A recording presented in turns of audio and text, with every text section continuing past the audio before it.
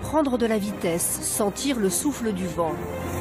Laetitia, Adrien et Raphaël n'avaient encore jamais expérimenté de telles sensations.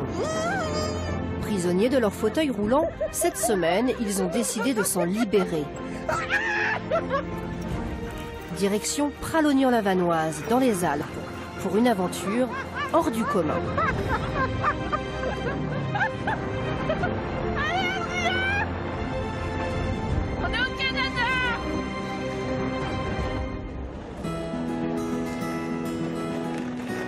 Gare de Lyon à Paris. C'est le jour du grand départ pour Adrien et Laetitia. Accompagnés par des bénévoles et Abdelkader, le responsable du séjour, ils prennent le train pour les Alpes du Nord. Allez, fais-moi un câlin. Hop Allez, le fauteuil est bloqué.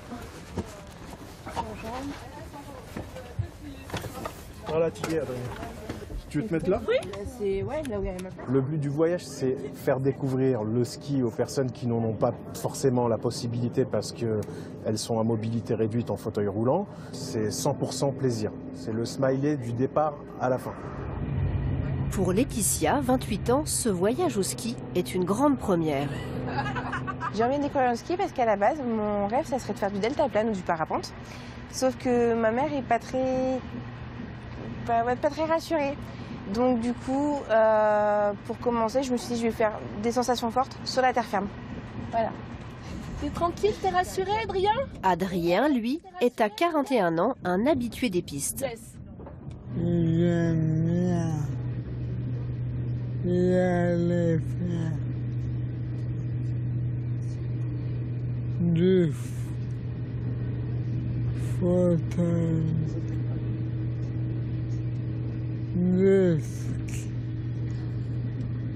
surtout les là-haut. Dans quelques heures, Adrien pourra réaliser son rêve. À l'arrivée en Savoie, deux minibus les attendent. Et quelques kilomètres plus loin, la station de Pralognan-la-Vanoise. À 1500 mètres d'altitude, Adrien découvre avec Laurence, son infirmière, les premiers flocons. Qu'est-ce que tu vois? La neige. Ouais Ah là, tu- on n'en manquera pas cette semaine. On va avoir plein de neige. Tu vois? C'est dans le chalet de l'Anaé qu'ils seront hébergés toute la semaine. Un lieu créé dans les années 50 par les scouts et les guides de France. Ici, toutes les personnes en situation de handicap mental et moteur sont accueillies. Vous êtes bien trois dans la chambre, c'est ça? Des chambres aménagées pour les personnes à mobilité réduite, une équipe attentive et chaleureuse.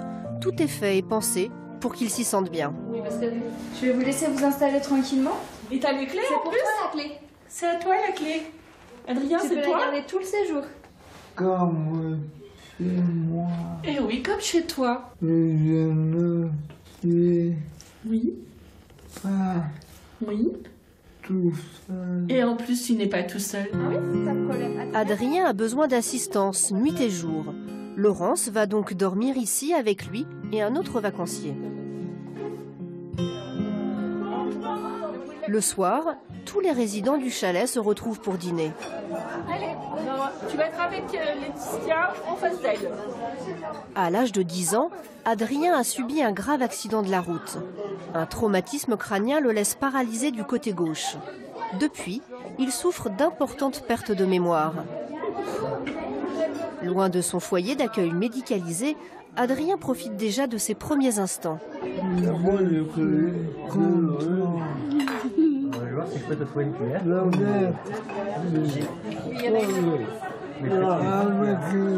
Tu veux une grande cuillère Oui. ou ça, ça te suffit Et voici la dernière vacancière, Raphaël. Elle rejoint le groupe après un long voyage depuis Tours. Bienvenue déjà. Alors, tu as vite rencontrer tout le monde. Moi, je connais déjà toutes ces personnes qui sont ici. Sauf moi, du coup. Voilà, alors toi, tu t'appelles Ma-. Je suis accompagnatrice de Raphaël. du coup. Voilà. Bah, vos vacances, profitez bien. Raphaël, Adrien et Laetitia ont bien de la chance. Car sur 12 millions de personnes en situation de handicap en France, un quart seulement partent en vacances. C'est important de rêver, c'est important de rêver, de rêver d'avoir des vacances, de rêver de profiter de la vie, de profiter de sa jeunesse. C'est euh, c'est top ça. Et cette semaine, les rêves n'auront pas de limite. Quel que soit le handicap, chacun va pouvoir accéder au plaisir et aux sensations des sports d'hiver. Ils ne repartiront pas sans avoir fait de ski. Euh, rester euh, dans son fauteuil à longueur d'année et ne pas faire ce type d'activité, ça serait dommage de venir à la montagne et de se dire ah ben non, c'est pas fait pour moi, je n'y arriverai pas. Non, on est là pour justement leur, montrer et puis euh, les motiver en leur disant ils peuvent faire n'importe quelle activité sportive, même le ski. Des sensations, ils vont en avoir. Après un long voyage, c'est l'heure d'aller se coucher, car demain, une journée intense les attend.